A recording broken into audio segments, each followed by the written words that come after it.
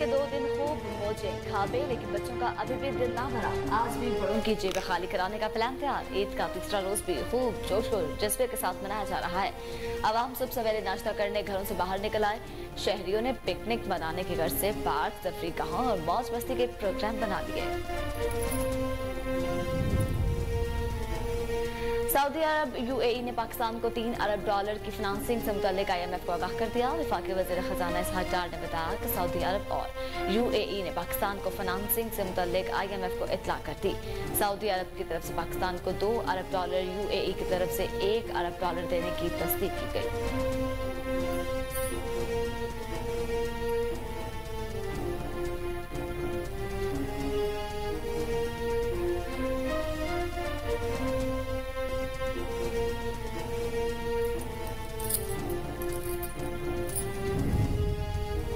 एशियाई तरक्याती बैंक ने कहा है कि पाकिस्तान को सैलाब से तीस अरब डॉलर का नुकसान हुआ। फ़सलें तबाह होने की वजह से मुकामी तौर पर महँगाई में इजाफा हुआ। एशियाई तरक्याती बैंक ने सालाना रिपोर्ट जारी कर दी।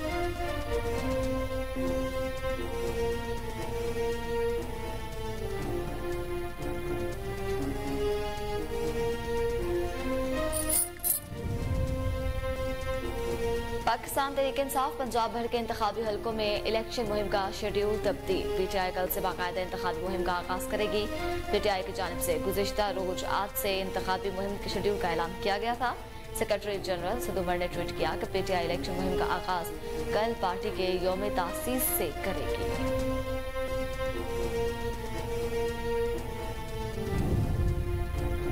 कोट अदू गिरतनवाह में चार इशारिया आठ शिदत के जल्जले के झटके, कई मकानों की छतों और दीवारों में दरारें पड़ गईं। मुख्तलिफ़ इलाकों तो साली के आसनान में के शदीद झटके महसूस किए गए। शहरी कलमाए तैयबा का व्रत करते हुए अपने घरों से बाहर निकल आए। जलजिले का मरकज कोट अदू शहर से सत्रह किलोमीटर के फासले पर था और इसकी गहराई बारह किलोमीटर थी।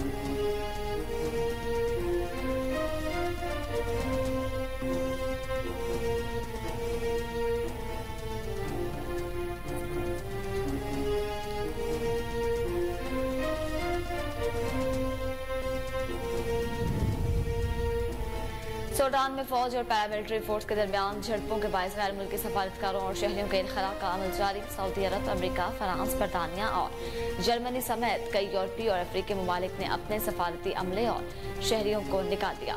उधर पोप फाइनांस ने सूडान की सूरत पर इजहार तशवीश करते हुए मुतहारिब फौजी धड़ों से मुजाकर का मुतालबा किया है।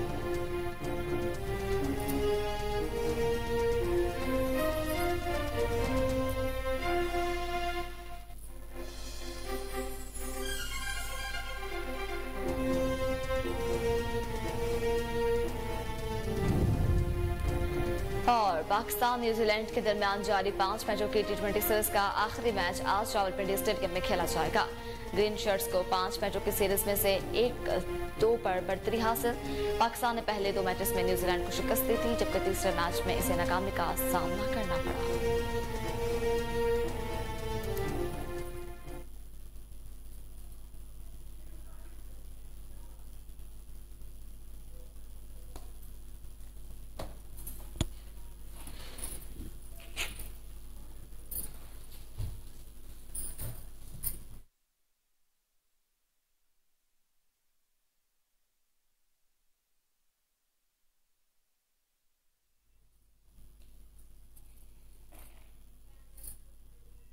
बिस्मिल्लाम कोहिनूर न्यूज़ के साथ मैं मोहम्मद गम शेख। हेडलाइंस आपने जाने, न्यूज़ स्टूडियो से फल वक्त इतना ही। देखते रहिए के न्यूज़।